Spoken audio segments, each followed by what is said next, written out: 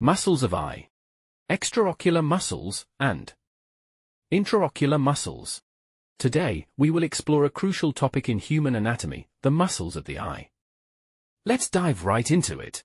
What are muscles of the eye?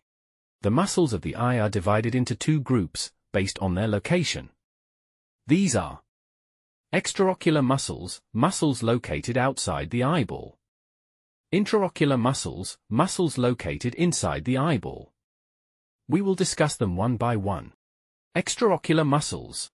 These muscles are located outside the eyeball, in the bony orbit. Extraocular muscles control the movement of the eyeball and are responsible for directing the gaze. They are skeletal muscles, that means they are under voluntary control. So they are responsible for voluntary eye movements. The eye has six extraocular muscles, responsible for its movement. These include four recti muscles and two oblique muscles. These six extraocular muscles are superior rectus, inferior rectus, medial rectus, lateral rectus, superior oblique, inferior oblique. Let's look at their specific functions. Superior rectus moves the eye upwards, that is, it elevates the eye. Inferior rectus moves the eye downwards, that is, it depresses the eye. Medial rectus moves the eye inward, towards the nose. Thus, it moves the eye medially. Lateral rectus moves the eye outward, that is, laterally, towards the temple. Superior oblique depresses the eye, and rotates the eye inward, intorsion. Inferior oblique elevates the eye, and rotates the eye outward, extorsion.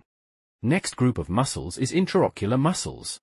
These muscles are located inside the eyeball.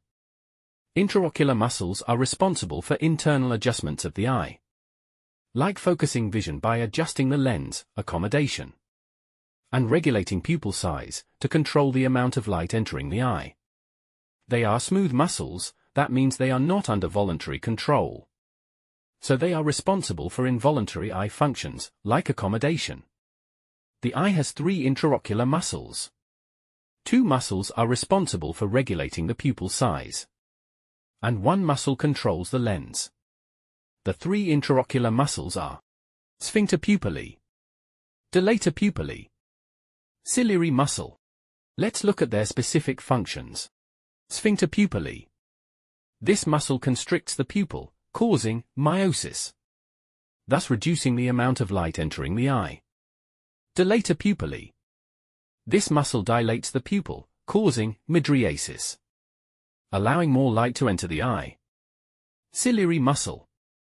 This muscle is responsible for controlling the shape of the lens, which allows for focusing on objects at different distances. This muscle changes the lens's shape, enabling the eye to focus on near or far objects. This process is called accommodation. Thank you for your attention.